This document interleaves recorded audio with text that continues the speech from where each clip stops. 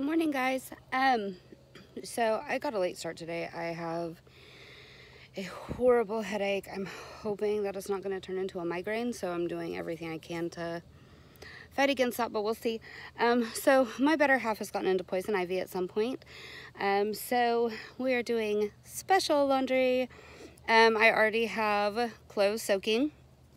Um, I'm gonna, since I don't have a regular washer, um, you know, it usually agitates, it fills it, agitates it, drains the water, washes it, and then it rinses it a few times. Um, and it helps to get the oils out of the poison ivy. So what we do is I soak those for about an hour or two, dump the water, wring everything out, fill it back up, do soap, wash, rinse, extra thoroughly rinse. Um, and then we do it again. I'm probably going to have to do this two to three times today. Um, just because when you have poison ivy, that oil stays on your skin and it spreads as you wear your clothes.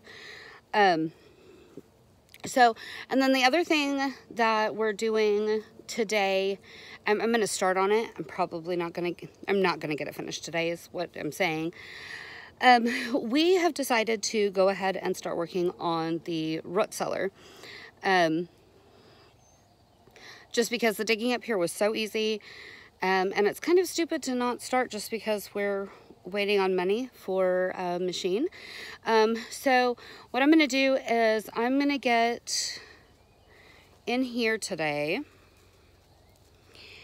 Um, and I'm going to clear this out. We're going to take down some, we're just going to take down some trees today. And we're going to clear out all the underbrush and get this mowed down as much as we can. Um, and then I'm to start digging and we're to see how far we get.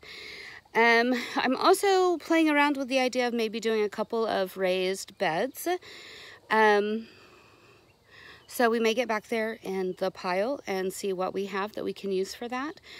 Um, we're really fighting with wild animals um, when it comes to our garden and I'm tired of putting in hours and hours of work um, and losing everything. For me to clear, since I'm clearing by hand with a hoe, um, to do an 8 by 8 section takes about three hours to get it completely cleared out. Um, and between rabbits and birds, they are they have destroyed pretty much everything. So um, I'm, I'm thinking about that. What are your best gardening tips? What, what do you do to deal with rabbits? Um, you know, because even though we're teaching you guys how to do things and showing you how we do it, um, we don't know everything. And sometimes, you know, you can learn a lot from other people. Um, I'm also thinking about getting out here and mowing. Um, last night was a little scary. Um, almost stepped on a rattlesnake. Um, so I'm thinking about mowing, cutting some grass pretty low um, up here, um, just so that we aren't fighting against snakes so, so very much. So that's where we're, where we're going to start.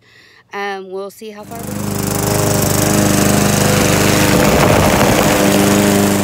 Okay, so um, took about 30 minutes, um, which isn't horrible. Um, but I got the front up by the house mowed down really close. Um, the places where it's still high, um, my better half will come through with uh, um, a weed eater and clean that up. So, but the entrance to our house looks all pretty now. It's all cut close. So I think we're gonna, I'm gonna check the fuel on the mower. Um, and we're gonna see if we can get this front cut. Um, I'm also thinking about going to the back and cutting one of my sections. Um, I, sec I, sec I sectioned off um, some of the stuff we're growing for hay. Um, and I'm wanting to start cutting it soon so that it can sit and dry for, you know, a week, maybe two or three days. Um, and then as I continue to cut sections, um, I'm going to slowly be going back and baling that by hand. Um, but we cut it into sections so that it's just more manageable for me. Um, because it's just going to be me baling this year. Um, but we're hoping if we start this early that I can get two to three cuttings um, off of my hay.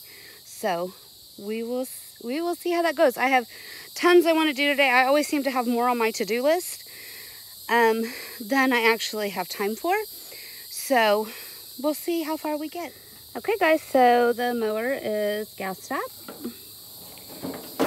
and we're ready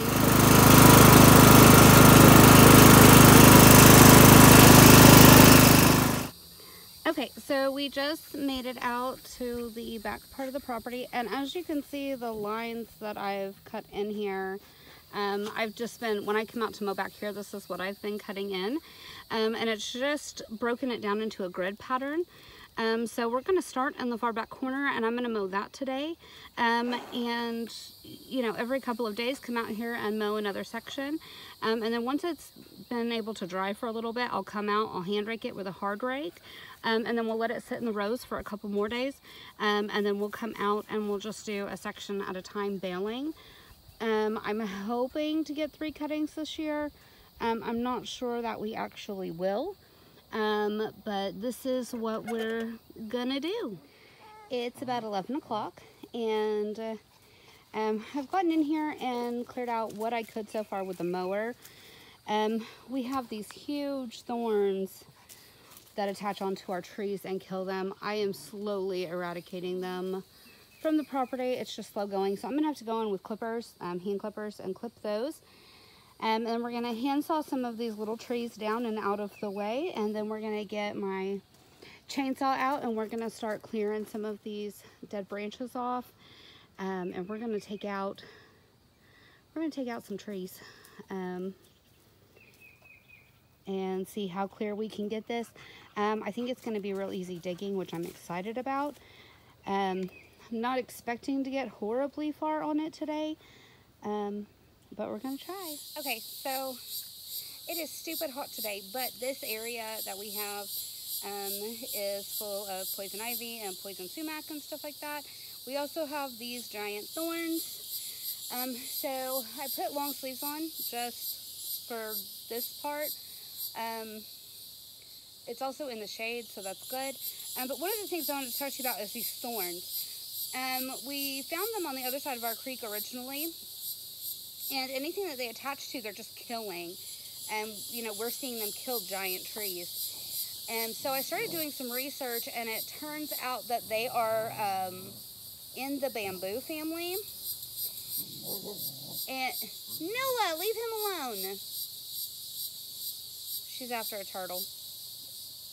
Um, so they're very invasive. It's very hard to get rid of unless you just pull them up from the root. Um, but one of the things that you can do that'll help save your trees um, is oh. to air gap it.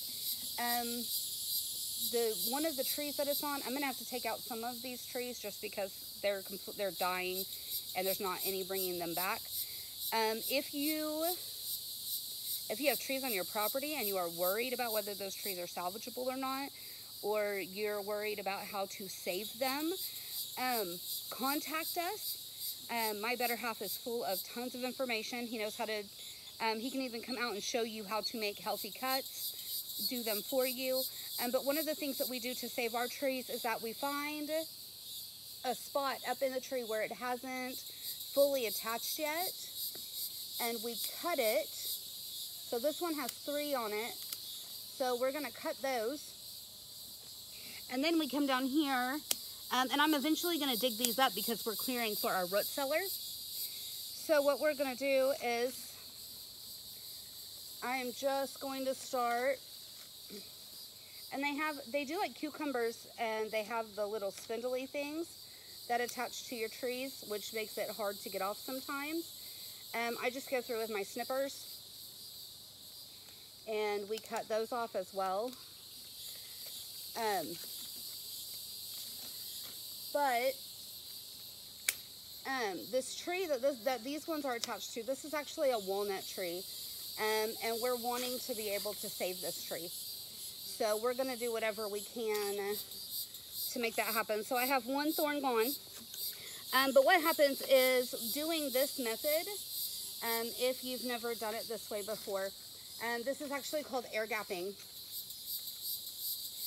And what it does is, um, because sometimes, sometimes pulling too hard on these, um, because they are so strong and attached so much, they can actually do more damage to your tree than you're intending. Um, so when you air gap them, it leaves uh, it leaves the thorns on the tree. Um, but at the same time, it disconnects them from the roots so they can't keep growing and they just stop um, and they die. And when they die, um, I have a whole bunch of them here that are dead.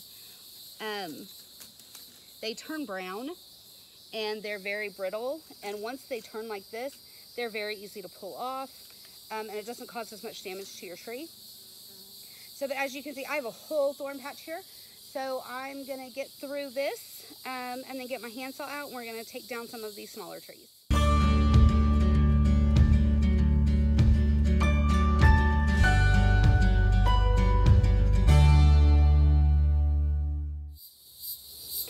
Okay, so uh, thorns are out.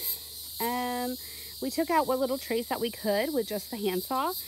Um, I'm still trying to clear, but there's um, trees and stuff in the way still. So we're gonna have to cut those out. Um, we are gonna end up doing an eight by eight root cellar. Um, you can do as small as a five by eight. It works for about a family of three. Um, but we're wanting to use it as storage also. Um, so we're gonna make it an eight by eight. Um, they don't suggest you going over a 10 by 10. Um, but this is where we're at right now. Um, we're gonna go up to the house and grab my chainsaw and then I'll show you what we're doing next. So, um, went up to the house, got some water because it's hot. Um, grabbed my chainsaw, we call this my bush bush. Um, this is just our little battery powered chainsaw. It's our baby of them all. Um, hi, Bubba. Um, so um, this is the one that I have to use um, just because the compression um, on his chainsaws is too much for me to actually be able to start them on my own. And if I make him start them, he might as well just do it for me. So um, I'm going to get in here and we're going to clear out some limbs and stuff um, and take a couple trees out.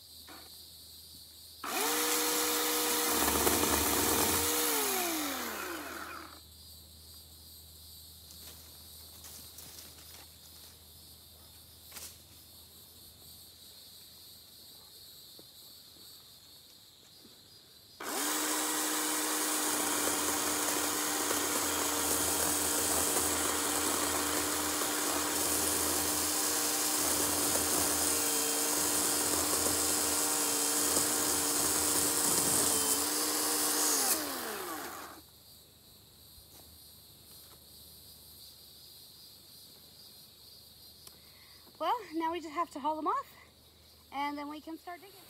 Well, my sharpshooter was left out in the sun, so it's really hot. So I'm going to put it in the shade so it can cool off for a little bit, which means it's going to be a little while before I can start digging. Plus, I really doubt that you guys want to sit and watch me dig for hours on end. Um, so um, I guess I'll do an update um, on this as we go. Um, you guys got to see how we cleared it out. Um, we, I'm not sure what we're going to be doing tomorrow, um, project-wise, because I have to get our stuff ready for us to leave the homestead for a few days. Um, we are going into town to stay with my family um, because my mother's birthday is this weekend, um, and it is her first birthday without her mommy. So um, we're going to go in town, have some family time. Um, hopefully have some time to to rest a little bit. Um, it's really the only time that we do rest, even though while we're in town, we're doing stuff for the homestead. So I guess I'm going to end the video here because we are getting to the hottest part of the day. Um, and once it gets hot out here, it gets a little hard to be able to film. Um, but I know this video wasn't very exciting today, Um, but thanks for sticking around with me. So until I talk to you again, I hope you guys are being safe and I hope you're making smart decisions. Bye, guys.